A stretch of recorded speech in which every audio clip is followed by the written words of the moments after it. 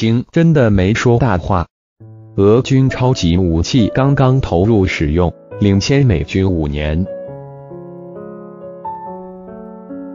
年三月一日，俄罗斯总统普京在发布国情咨文时，公布了一系列新型战略武器，不仅给自己在接下来的大选加分，也震惊了全世界。刚刚，俄军公布的一则爆炸性消息。再一次佐证了普京所言非虚。五月六日，环球军事援引俄罗斯卫星通讯社的消息称，俄军持架配备匕首高超音速飞弹的米格三十一战机已经在执行试验性战斗执勤，并将视情况投入使用。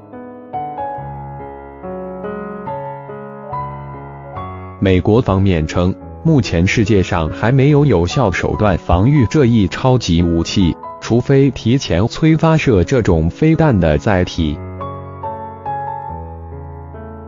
由于这种武器的速度实在太快，目前所有的反导系统对它都无效。用俄美军事专家的话来说，相当于美国的脑袋上随时被俄罗斯拿杆大狙顶住。这种滋味，相信只有美帝自己知道。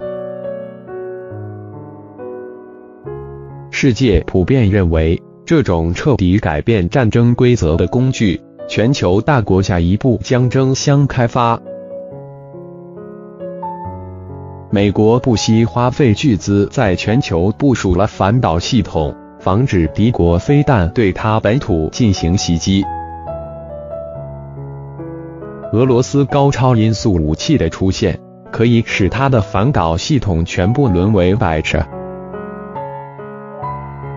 高超音速飞弹不仅能够轻易撕裂它精心编织的全球反导网，如果装上核弹头，将让俄罗斯的核威慑变得更加可信。实际上，比音速快五倍以上的高超音速武器。美军从上世纪九十年代就开始研发。美空军在二零二零年远景规划提出，要实现一小时内打遍全球目标的全球快速打击概念。不仅可以利用它进行核武器突防，还可以用于定点清除高价值的反恐目标。截至目前，美军除了依靠火箭发射送入太空的 X 三十七 B 高超音速试验飞行器，还没有真正的高超音速武器被研发出来。然而，让美国人大跌眼镜的是，这种超级武器最终却被俄罗斯抢了先，如今已随时可进行实战部署。在高超音速武器研发上，美国如今已全面落后于俄中两个竞争对手。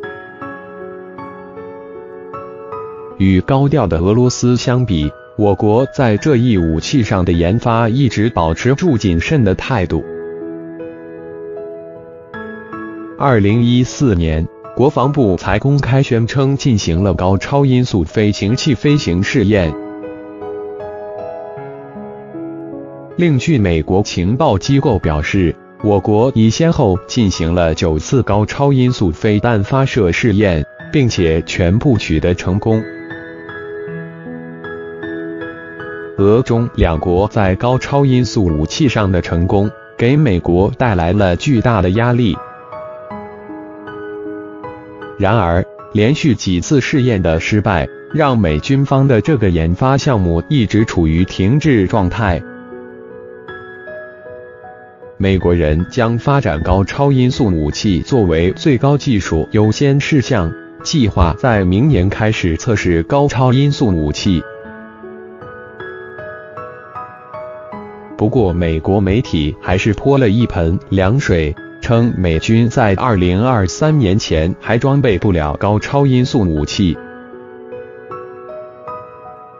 这意味着美军在此后的五年中。无法有效应对俄中两国的高超音速武器，即使几年后美军成功研发出来，俄中两国的这项绝技恐怕是不会停留在原地。